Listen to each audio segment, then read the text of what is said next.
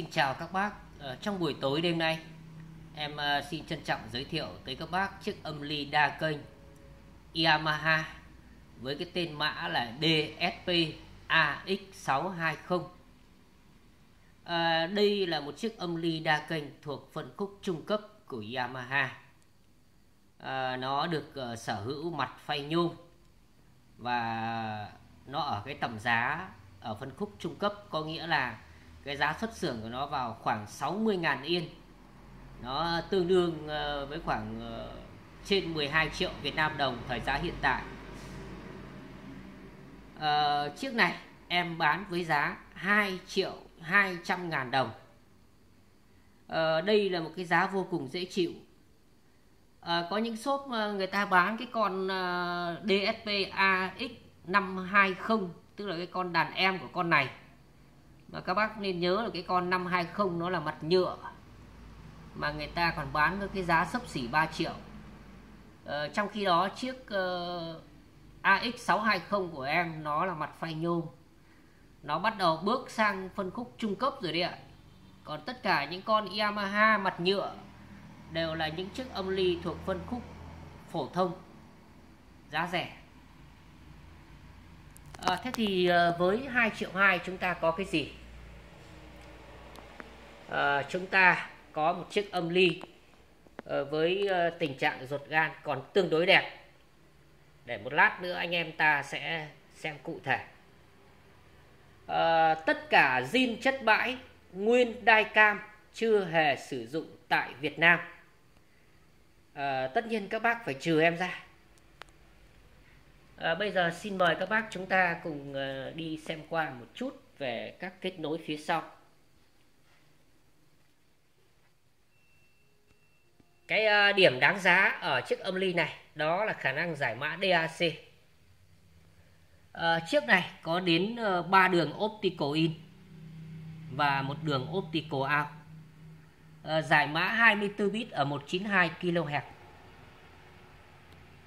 Ờ, những bác uh, đang ờ, có ý muốn uh, tập tành chơi âm ly đa kênh và đang cần một cái thiết bị để có thể giải mã trực tiếp đường quang ở Smart TV xuống để nghe nhạc.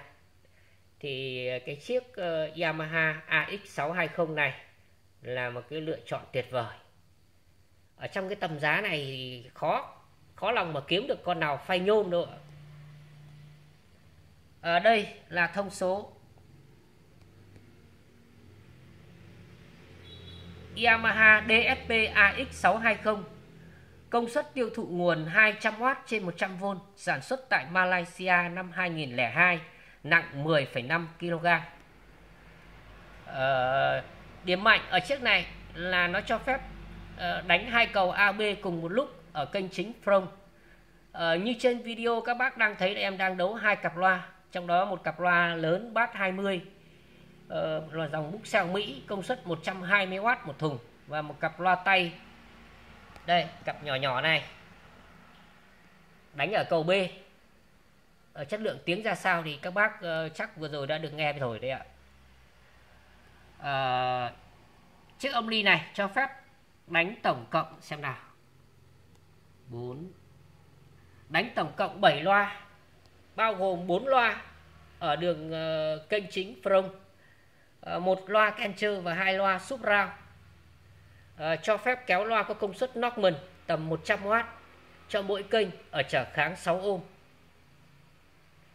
À, ngoài à, cái kết nối à, optical thì nó còn có rất nhiều những cái dạng kết nối dạng rắc bông sen AV cắm mỏi tay không hết được đâu ạ. Ở đây là một chiếc âm ly có cái giá thành cực kỳ dễ chịu và cực kỳ đáng chơi bây giờ anh em ta sẽ soi đến cái phần nội thất. Ở đây là tăng phô chính rất lớn.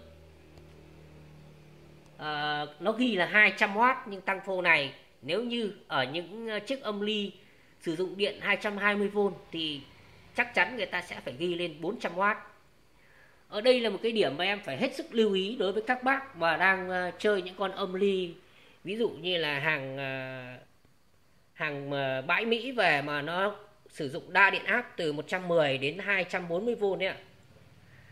ví dụ có những con sân xui những cái con đa điện áp ấy, nó có thể ghi cái công suất lên đến 600W nhưng ờ, các bác hãy ờ, đừng nóng vội các bác chia cho hai hộ em một cái thì lập tức nó sẽ ra công suất thực của nó. Ở những con âm ly mà nó sử dụng điện cả điện 110 đến 220 bao giờ công suất nó cũng ghi gấp đôi lên nó tương ứng với cả cái ờ, cái khoản dùng điện 220 đấy ạ. Còn ở trong cái phiên bản chạy điện 100V của Nhật thì công suất của nó nó ghi chỉ bằng một nửa thôi ạ. Trong khi ruột gan là y chang do vậy các bác đừng bị say nắng bởi cái cái số watt mà nó ghi ở đằng sau. Đấy.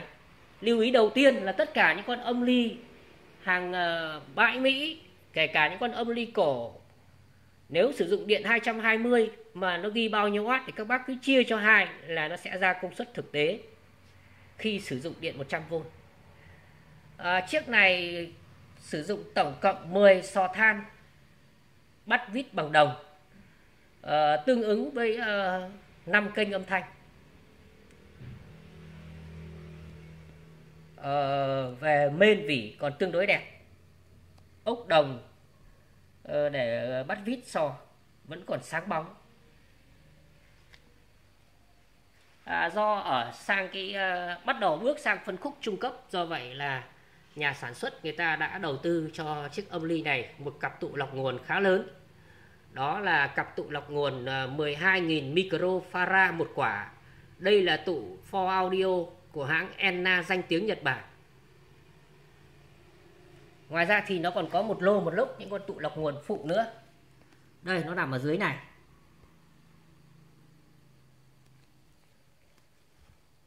À, do bắt đầu đã sang phân khúc uh, trung cấp do vậy tất, tất cả những cái đường truyền dẫn âm thanh quan trọng. Khi sử dụng cáp dẹt bắt đầu người ta bọc bạc rồi các bác. Đây như sợi này và sợi này đều được bọc bạc. Bạc này là bạc nguyên chất. Và như thường lệ tất cả những chiếc âm ly đa kênh của Yamaha đều có cái bo nằm ngoài cùng góc phải này là bo giải mã DAC nó bọc kín để chống nhiễu tạp từ bên ngoài vào. Bo này giải mã 24 bit ở 192 kHz. Ngoài ra thì ờ, main trồng main. Yamaha là vậy các bác đây là vỏ nắp có xuất hiện một vài vết chảy đổ bãi không tránh được. Cái uh, nhược điểm của chiếc âm ly này đó là thứ nhất là nó bị rơi mất cái chữ uh, Yamaha logo ở phía trước mặt. Hàng bãi về nó rơi từ trước rồi.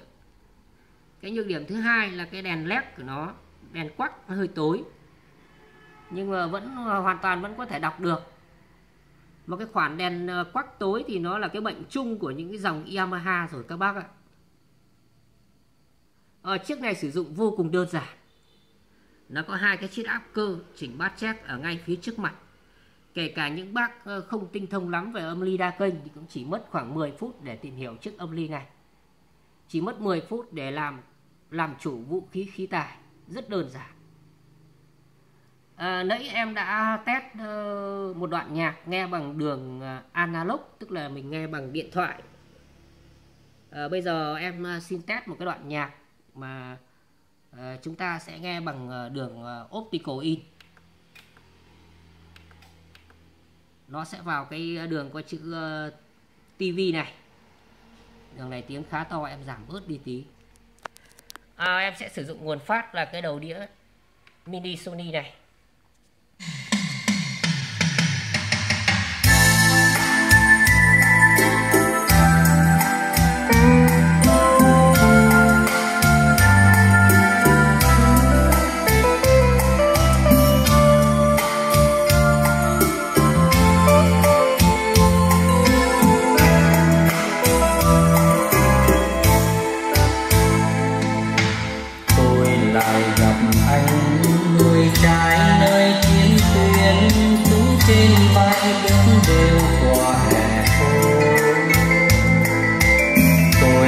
ngày gặp anh.